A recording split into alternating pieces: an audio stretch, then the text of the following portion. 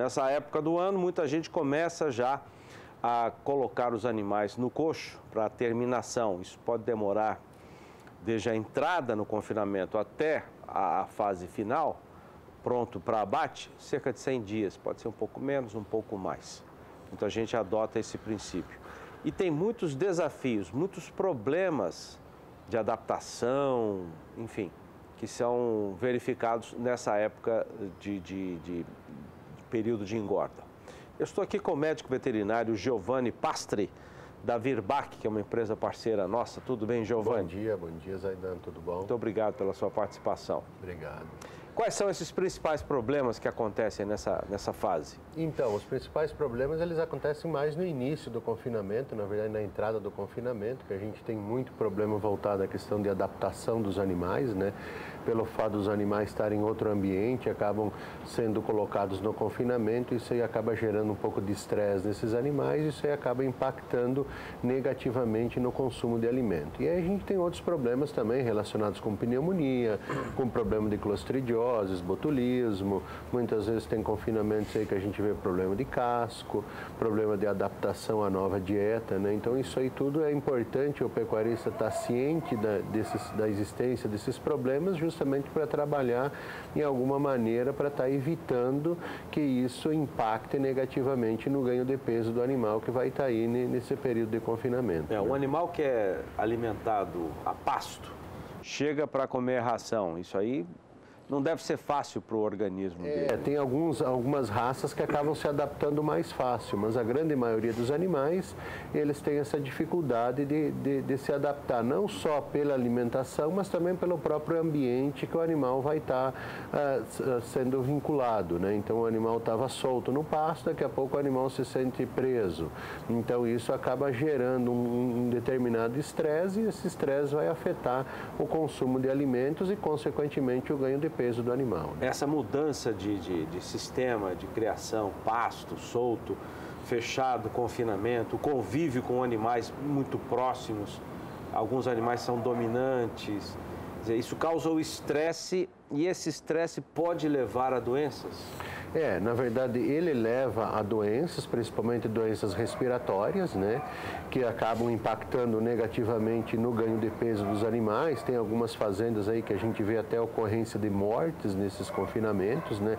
Principalmente no período inicial, né? Então, isso aí com certeza reflete negativamente no lucro desse, desse confinamento, desse sistema, né? Que outros problemas você apontaria, Giovanni?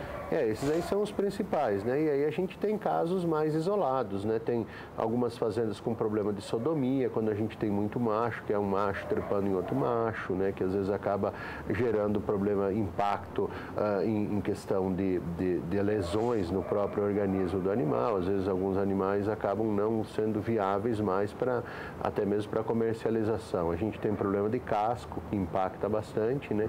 Mas o, o mais importante que a gente vê é o que? A gente preparar o animal para a entrada do confinamento. Como ele vem de diferentes diferentes origens e reúne-se aí no momento, num determinado momento e é colocado na baia, lá no, no, no lote para confinar, a gente tem que garantir que esse animal tenha um, uma boa adaptação nesse confinamento para ganhar um bom ganho, ter um bom ganho de peso e, e conseguir um lucro, conseguir gerar um lucro para esse pecuarista que está investindo nele, né? Vamos lembrar que o Giovanni Pastre é médico veterinário e gerente técnico da Virbac que é uma empresa parceira nossa, né, a Virbac, que entrou faz pouco tempo na nossa grade de programação, com um produto, um sal mineral injetável. De que maneira é, é, o como que é indicado esse produto para a entrada no confinamento? Então, o fosfosal, na verdade, ele é um mineral injetável, né, multimineral injetável, ele tem alguns componentes, o, o principal componente dele é o fósforo. Então, a entrada desse animal, quando ele entra no confinamento, geralmente ele não se alimenta bem no início. E isso tanto de, pensando em silagem, volumoso, quanto grãos e até mesmo a mistura mineral via oral que é oferecida. Então, a gente tem esse animal, ele demora uns determin, um, um, determinado tempo até ele regularizar o consumo de alimentos.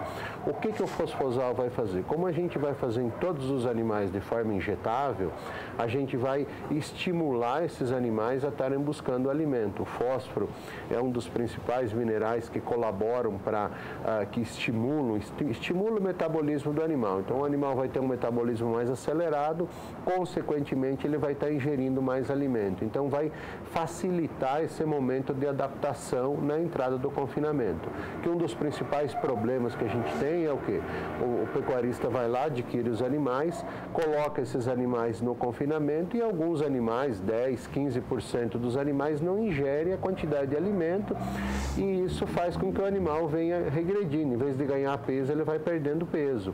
Tem alguns casos que até o pecuarista tem que retirar esse animal do confinamento e botar de volta no pasto para que ele não se adapta.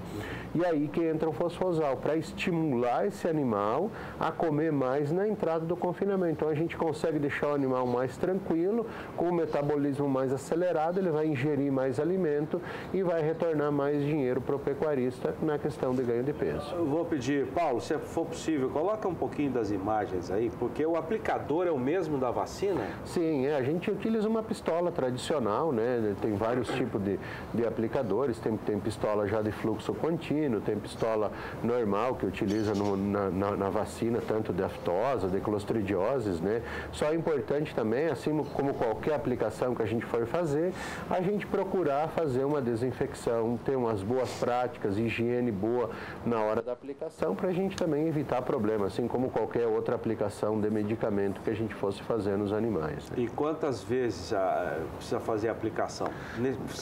Nós falamos em 100 dias de confinamento. Exatamente. Nesse período de 100 dias, aplica uma vez? É, na verdade é o seguinte, é, o importante é o que? A gente aplicar no início, que é o momento que ele está fazendo o manejo. Né?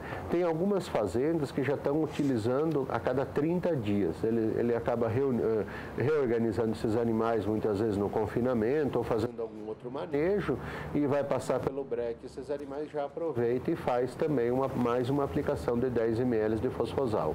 Mas o importante é o que? A gente se, pre, se preparar nessa adaptação do animal. Então o fosfosal vai auxiliar nessa adaptação. Tá e a gente teve alguns resultados até de fazendas aí que estavam com mais de 10% de animais rejeitando o coxo. Né? Então chegava lá 100 animais para confinar, 10 não comiam bem.